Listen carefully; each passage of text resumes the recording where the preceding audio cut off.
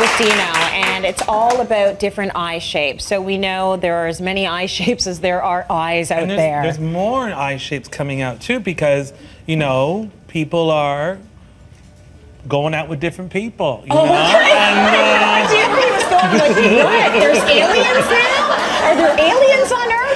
Okay, so yes, yes, interracial. interracial. yes. combinations. And it's beautiful. As makeup artists, we love thing. it. We it's really love United. Colors of Benetton. Yeah. It's beautiful. Okay, so we're going to talk today. We're going to focus on uh, the hooded eye. The hooded eye. Explain what that would be. Okay, so a hooded eye, you can either be born with it Yeah. or it can come later in life. Okay, because as we age, the skin starts to kind of lose its Right. gravity and starts to kind of hood out your eye. Okay. It can even get to a point for a lot of older women where the, I've seen it where they actually tape up their eye to pull the skin because the skin can actually almost obscure their vision. Okay, so it can be a real Oh, serious so it's thing really or going a lower mild and thing. lower. Yeah. Okay, uh, you're not there yet. No, Mary. no, no, she's Mary's our model right now. She's like, thanks So- for that discussion you just had about me. Yeah. So We want to talk about applying makeup if you have Yes. a hooded eye. What Now- you should do, maybe what you should stay away from. Yeah. What we're gonna do, what we're gonna do is we're gonna do a series of these. We're gonna call them eye school because we've all been to high school, but we're gonna go to eye school. I like it. okay? And we're gonna do simple ones, and then we're gonna show you how to can do different ones. Okay. So Okay. the hooded eye, the best way to treat a hooded eye is close your eye for a second. So we have a lid. The lid is Uh-huh. between your lashes and the bone of your eye. Right. The crease is on the bone. Yeah. And then your highlight usually goes right under the brow. So the eye is usually always divided into three. Today we're going to divide into two. All right. Uh, Okay. it's going to be way easier. So what I want to do is close your eye, and I'm starting to put a dark color on her eyelid. Now, are And- you dividing it into two because there is not as, uh, as it's going to be a little easier. Okay. Okay. Uh, I would divide into three for more of an evening eye. Okay. Something a little I more see. dramatic. Okay. Okay. So I've got it on her lid. Now Mm-hmm. the trick is this, ladies. Open your eyes.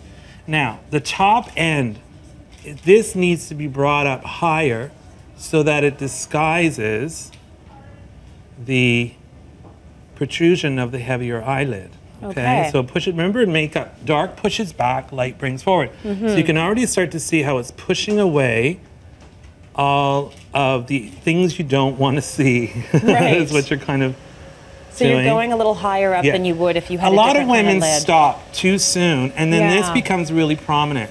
The trick is always bringing that top edge higher Mm-hmm. to a point where open your eyes, so you can see it starts to fade back the Yeah, eye. very okay? nice color for her. Are there any Yeah. colors that um, Mary You would do want to stay away from? Uh, If you want to make it look more subtle, go stay with your neutrals and your browns. Yeah. If you want to make a statement, go with a bolder color. Okay. Okay. All right. All right. So that's one. Number two is you're going to take a light color. I'm Mm-hmm. just using an ivory, and I'm just going to use my finger because I just want a little bit To So that's- highlight. Yes, under the brow, but only on the exterior here. Okay. Okay. And then I'm going to just take a clean brush, open your eye, and I'm going to blend the two areas together so that they melt into each other. You don't see a line.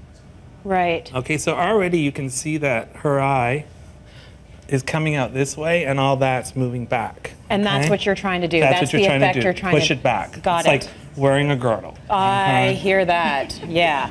Okay, so now today. let's talk a little bit about eyeliner. Yeah. Um, is there something as specific she needs to do? Well, when it comes to liner, it's really about preference. Some women love Yeah. pencils, some like shadows, some like these new liquid pens, which Yeah. are really kind of cool. You got to have a bit of a steadier hand for this.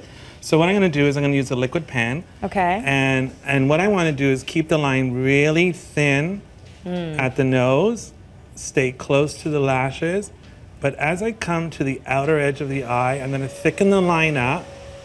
And I'm also going to give her a little bit of a cat tail. And why do you do that? Oh, because she's like that kind of girl.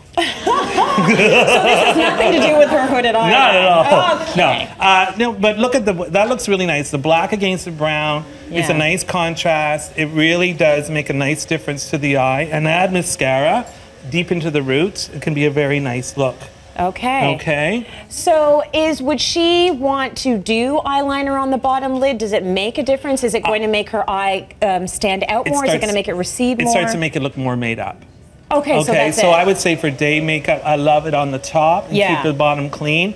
And at nighttime, bring a liner along the bottom. Right. And that can take it into your night look for you really well. So the, the, the most important thing for a hooded eye is that you Is that keep shading back. the shading And in the future, what we're going to show you is how to open up the eyelid. Okay. so we're going to start to kind of build on the demos that we do. Very cool. Okay. All right, you did very well, my friend. You yes. did really well.